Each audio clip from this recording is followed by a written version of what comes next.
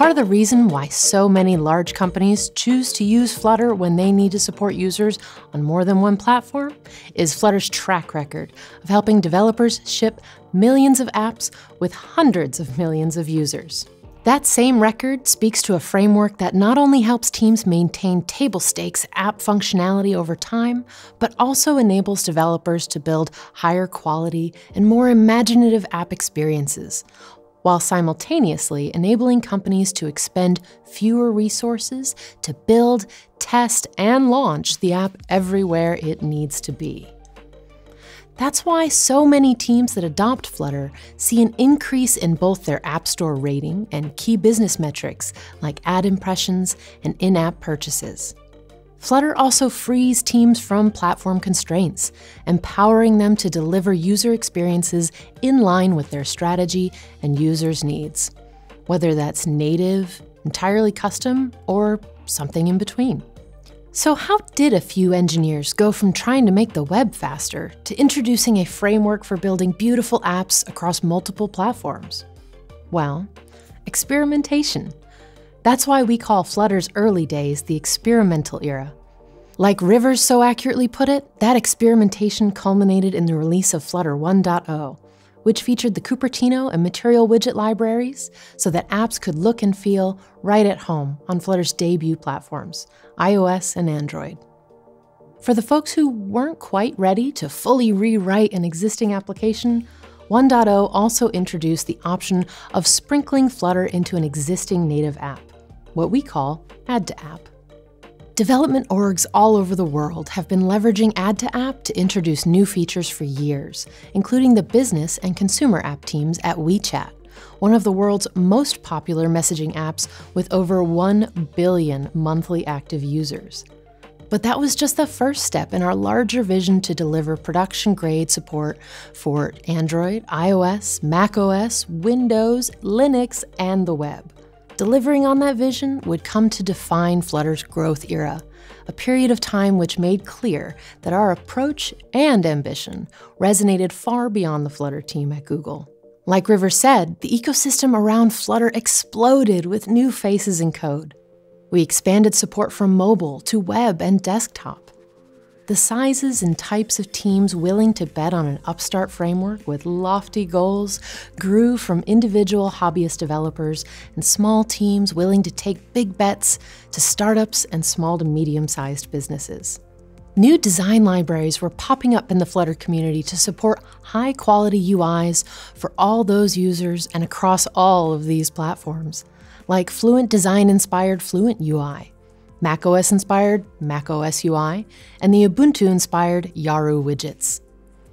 We also added support for new user input methods like Focus and shortcuts for desktop users, Scribble support for Apple Pencil users, and local auth via fingerprint, Touch ID, and Face ID, just to name a few.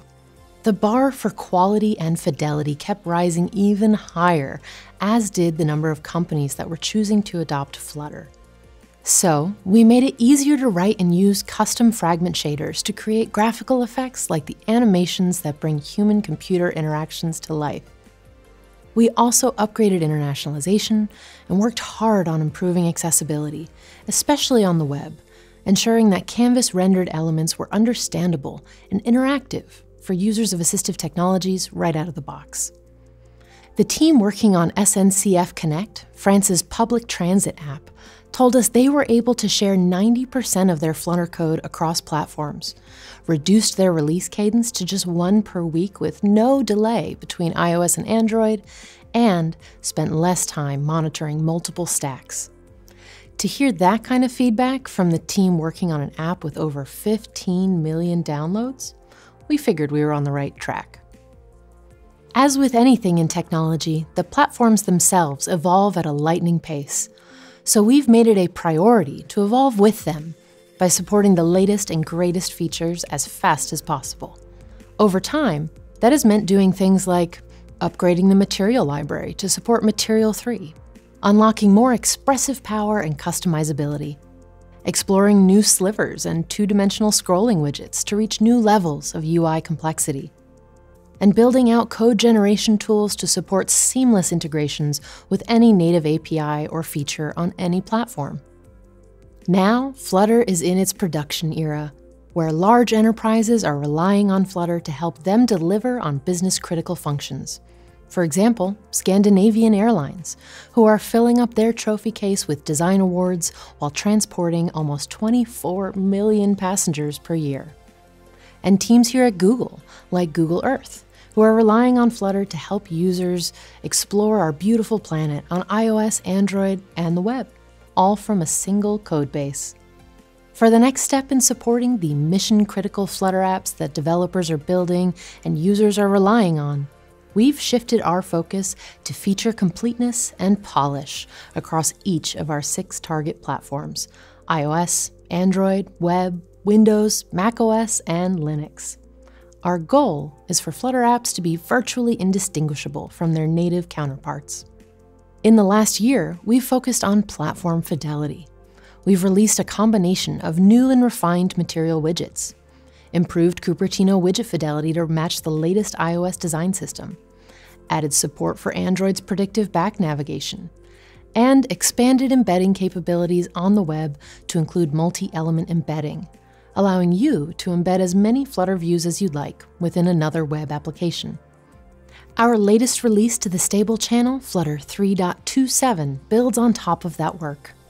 We're making updates to the material widgets to keep pace with its evolving spec, enabling more dynamic layouts to follow modern app design trends, and implementing the latest features from Android 15, including freeform and edge to edge mode by default.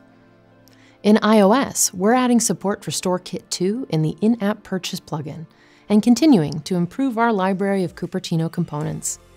It seems a few developers have already noticed. And on the web, you'll see even more improvements to accessibility and visual fidelity. We're landing fixes for headings, dialogues, passwords, the iOS keyboard, links, and scrollables. Development teams working at Supercell and Universal Studios both, coincidentally, reduced their codebase size by 45% after using Flutter. More specifically, the Supercell ID team was able to reduce their core code size by 45% even with the addition of support for desktop.